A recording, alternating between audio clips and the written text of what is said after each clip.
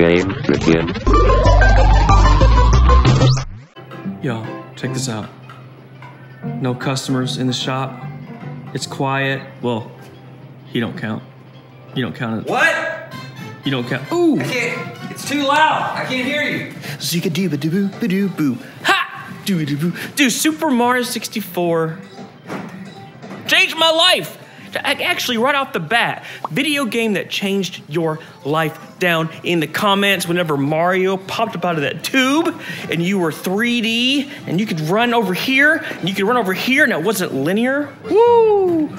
Oh, you're, such you, a good time. are you already thinking about your game? That was such a good time. That game. Mario Kart 64. It was it was Oh. just a game that I could play forever. it's a good one. I could still play that. So we today. said some pretty generic ones. Mario 64, Sorry. Mario Kart. I'm not even gonna say Earthbound because you guys have heard me talk about it too much. So you guys tell us down below the game that just like blew you away. So we are in the shop right now, and there's no one in here. It's pretty quiet. Me and Mike opened up the shop today, man. Yeah, dude. That was nerve wracking. That was nerve wracking. It was Scary. It was scary. I'm over here putting all these Nintendo controllers in these bags.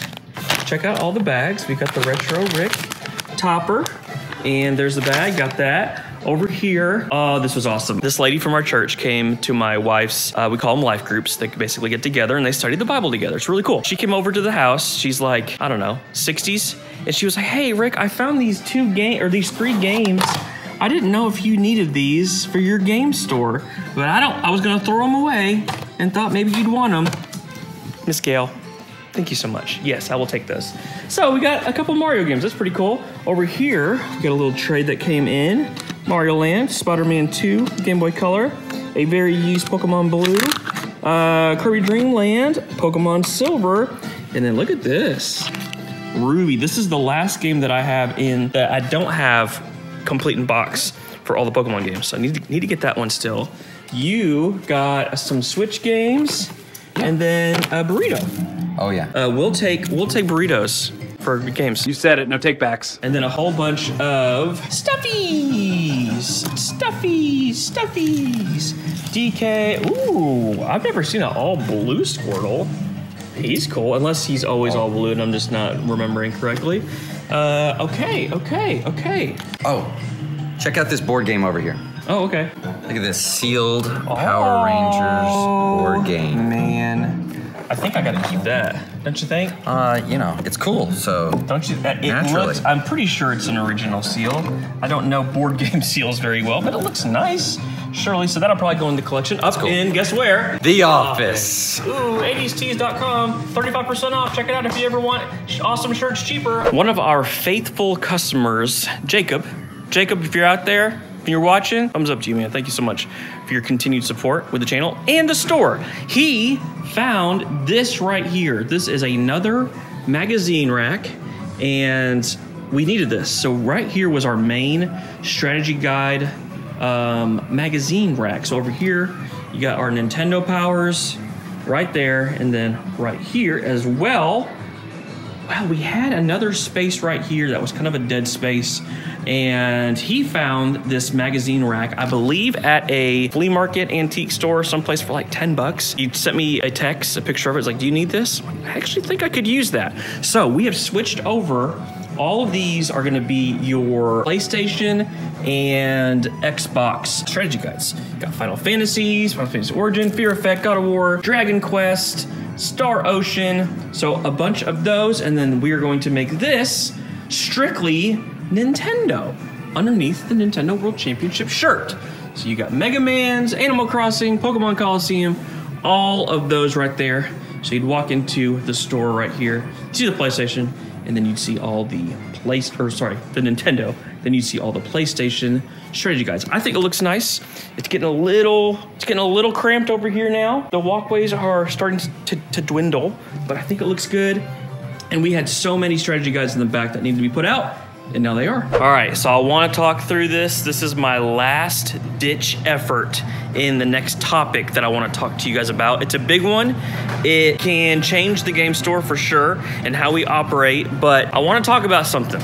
Michael, what are we looking at right here? What is this box? Bunch of new games. Look at this. new. Why are we getting new games? I don't know. The heck if I know. new I- games. People like them, right?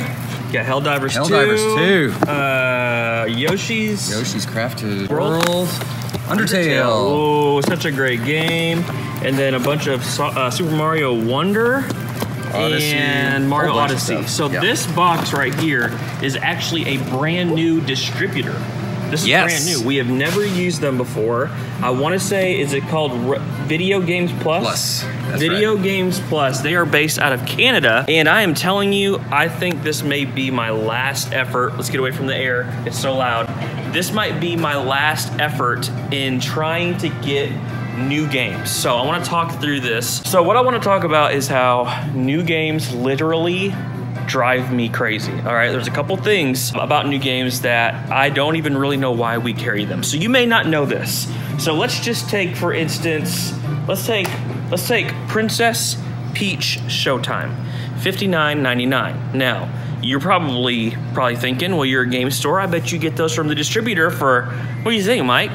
How much? Oh, like 30 bucks? 30. Oh, a nice little double up Yeah. from the distributors to try to make the game stores nice and, you know, people want to come shop for games. No, we get this game for like 54 to 55 dollars. Sometimes, sometimes even 57. Not including shipping. Correct. Not including shipping. These things, if we sold just new games, we would go bankrupt in three months. This game store would not exist. It is all about the used product. So the question is, should we continue to carry new games? That's the question. So there's a couple things. So let, us go back to shipping. So when we buy these games, when we buy, uh, here's here's Super Mario Bros. RPG.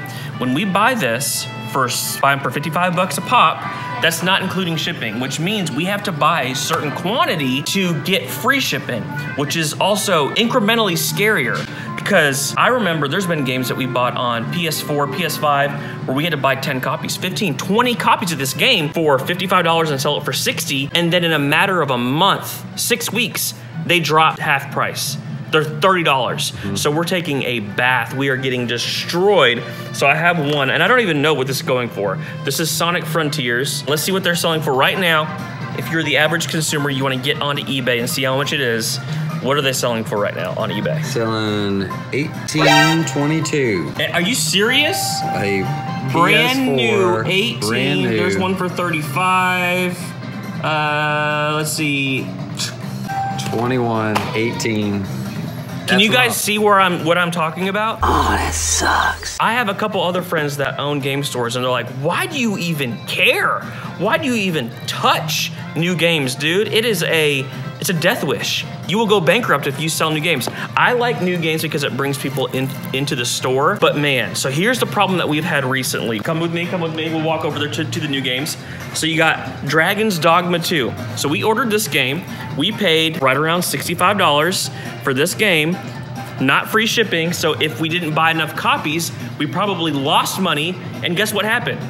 The games didn't come in on time. So now we have people coming into the store. They're like, I'm so excited. I've been wanting this game. I pre ordered this game. Christina, can I have my Dragon's Dogma 2? Hasn't come in. What? But I pre ordered it. When's it gonna come in? They don't know. Because here's the problem we are the low person on the totem pole. Best Buy, Walmart, Target, all these places, they're first. They don't care about us. We're like, hey man, we ordered 10 copies of that. They're like, 10 copies? We're not making any money off y'all. We don't care. Uh, sorry, you'll get it when you get it. Hang up. So here's the thing. Why are we doing this? So we have gotten almost every single new game from our other distributor. I'm not gonna say the name. Come on. Do it. Do it. I want to, but I'm not gonna say it.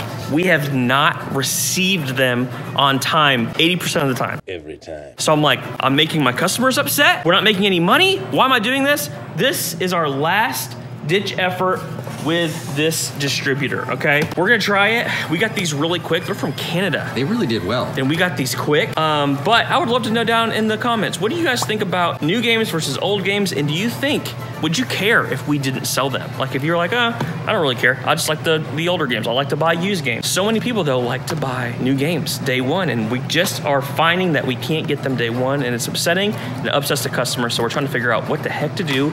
Y'all let us know your thoughts. So Rick and I are talking about old times. and he mentioned that he was a pretty good baller back in the day, a bit of a shooter. So I want him to prove it. So we're out here at the gym. We're gonna see what the man can do. All right, here we go. Oh my goodness! Splashy! Steph! I can be Steph, I can be Shaq.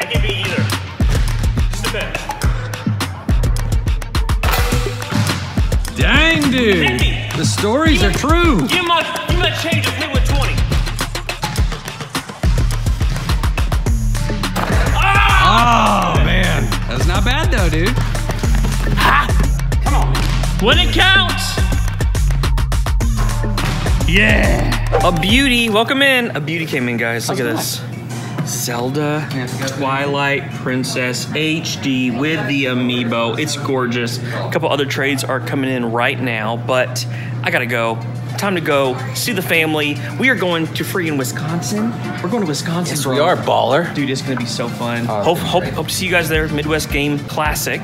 Hope to see you guys there, guys. As always, y'all amazing. Don't stop gaming. Never stop gaming. I messed up the phrase.